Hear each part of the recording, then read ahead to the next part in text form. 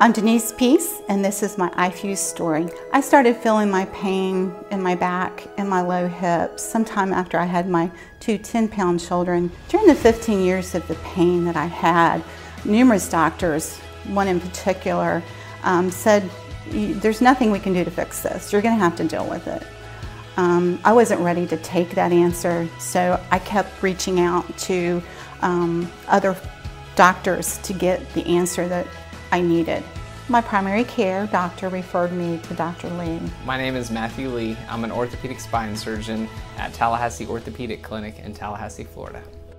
SI joint dysfunction is prevalent in about 15 to 30% of all patients in my practice with low back pain.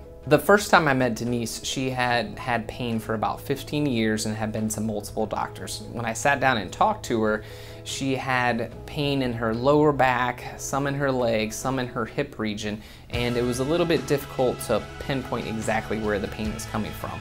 After I talked to her for a little bit longer and listened to her story and examined her, I was able to pinpoint the pain coming from the SI joint we talked about various treatment options. We talked about her continuing physical therapy, which she'd done multiple times throughout her 15 years of pain.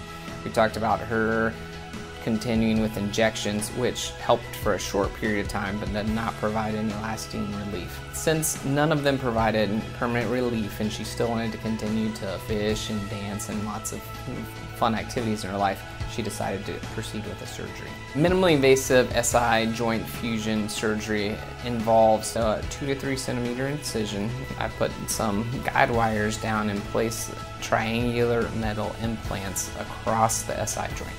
Since my SI fusion, life has completely changed. I'm back to normal. I'm fishing. I've lost 35 pounds. I'm very active in the community I live in and the office that I work in life is good. Whenever I see people like Denise back and they're able to get their life back and do what they want to do, it makes me remember why I went into medicine and why I became a surgeon.